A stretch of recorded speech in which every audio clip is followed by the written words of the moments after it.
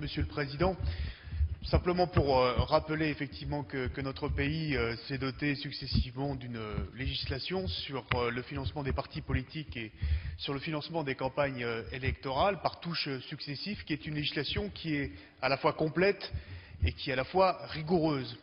Elle permet à la fois d'établir une aide pour les partis politiques, donc une aide publique, elle permet d'encadrer les financements privés, elle, permet de plafonner les dépenses euh, électorales et d'imposer la transparence des ressources et des dépenses et de les soumettre à un contrôle à travers euh, une législation et euh, et des sanctions. Ce que nous aurions pu améliorer dans ce texte de loi qui traite de la transparence financière est peut-être sans doute le sujet sur lequel nous aurions pu aller un peu plus loin. Et c'est l'objet de cet amendement, c'est la question de l'encadrement des financements privés. Puisque nous avons euh, là une différence majeure entre d'un côté les dons de personnes physiques qui peuvent être faits dans le cadre du financement d'une campagne électorale. Pour le coup, la règle est claire, hein, c'est 4 600 euros le plafond et c'est valable pour euh, toutes les campagnes électorales organisées pour la même euh, élection.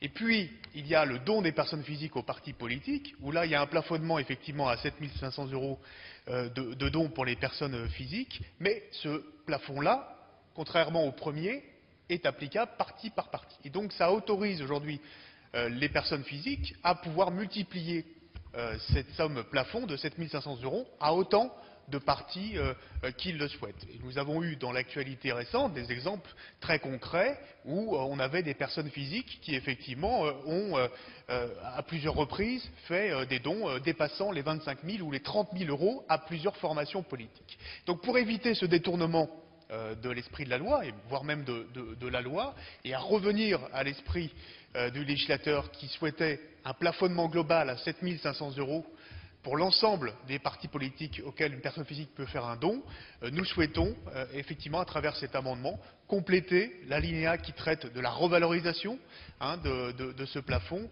année par année par un amendement qui euh, permettrait effectivement d'avoir un plafonnement global à 7 500 euros. Merci. Avis de la commission, monsieur le rapporteur? Défavorable. Avis du gouvernement? Un avis défavorable. Je mets de voix le 15 qui est pour, contre, il est rejeté. Je mets de voix l'article 6 terre qui est pour, contre, il est adopté.